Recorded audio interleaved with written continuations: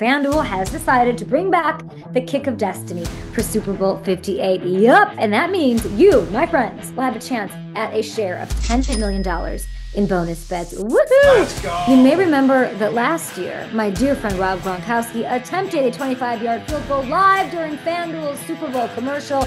You may also remember that all of America learned, even for a superstar four time Super Bowl winning athlete, kicking a field goal is not that easy.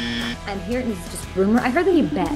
And I want to prove to myself that I can make that kick as well. I need kick of destiny number two. And so FanDuel is giving him another shot. Gronk is going to attempt the kick of destiny 2, part 2, live on air just before kickoff of Super Bowl 58, which is amazing. And with him, which is insane. This time, FanDuel is letting you decide whether you think Gronk will make or miss. Make, miss, miss, make. Will he make or miss the kick of destiny? You tell us. If you choose correctly, you'll split a share of $10 million in bonus bets, and it's completely free.